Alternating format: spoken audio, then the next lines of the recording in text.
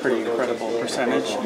Can you just talk about tonight's defensive intensity and if that had anything to do with USC success? It was horrible. Um, disappointed.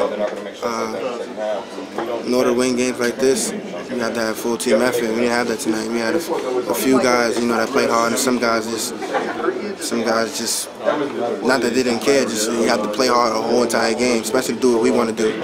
Um, for, for some of us tonight, but we have another game, and hopefully we'll win that game. We have to play better on defense. Offense is not a problem. I mean, you guys can see it.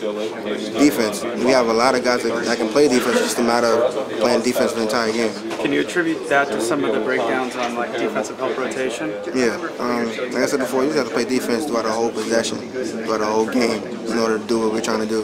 I think everybody knows what we're trying to do, but you know we can't. We got to win games like this. You can't let it slip away. I'm, I'm disappointed. You know, I, don't know. I'm disappointed in my teammates, and I'm disappointed in myself. I think I could have played a little harder. I mean, I, I had a good game, but I think all of us need to play good collectively with defense. It has nothing to do with offense. Defense.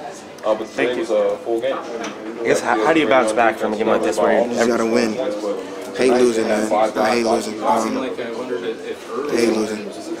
Simple as that, man. I hate losing, especially games like this. Man. It, it, it means so much, especially the seniors like me, Simon, and Mark. Um, I hate losing, but uh, it's not the end of the road. You gotta get better. and how important is it, I guess, against UCLA on Friday to come out quickly and just kind of like move on from this game, I guess.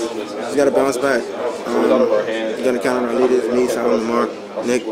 Um, We had a great first try to play everybody together and try to get this win in UCLA. It's a big game, and uh, we got to step up.